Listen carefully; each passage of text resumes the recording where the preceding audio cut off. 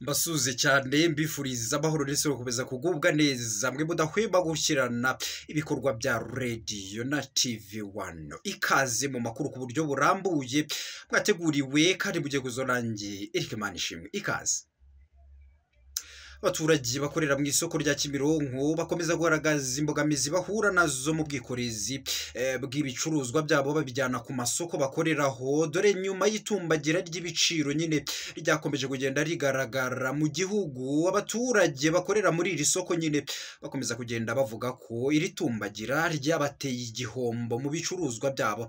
Ari na byo bikomeza kugenda bivugwa ko abacuruzi bakoreraga mu iri soko bakomeje kugenda bagabanyuka ku rwego rwo hejuru.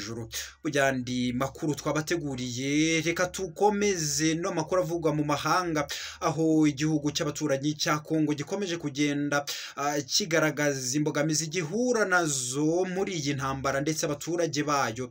Bakomeza kugenda imibereho mibi y'abimukira ndetse n'ibindi byinshi bikomeza kugenda bigaragara kuri iyi ntambara. Bikomeze kugenda bifata urwego rwo hejuru. Ibi kandi bikaba byagaragaza idindira mu bukungu bw'iki gihugu. Ryo ku rwego rwo hejuru.